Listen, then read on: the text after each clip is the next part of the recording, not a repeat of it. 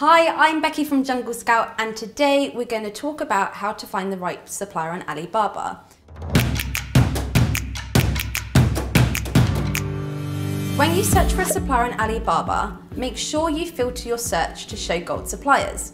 This will make it so much easier for you to knuckle down a supplier who has experience and a good working history on Alibaba.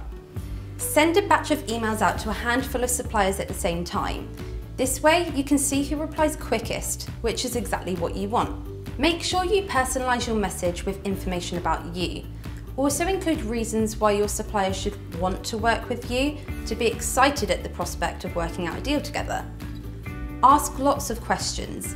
This means you'll be able to see how helpful they are and their attention to detail. Ask about the product spec, customizations that you'll need and what your expectations are. Remember, do not negotiate price too early on in your communication. It's more important to build trust and rapport with the supplier. Only then should you consider talking about a price point. Thank you so much for watching our video. Remember to check out our million dollar case study if you want some more information on this, as Greg goes over it with a fine tooth comb. I'll see you in our next 60 second how to video. Bye guys.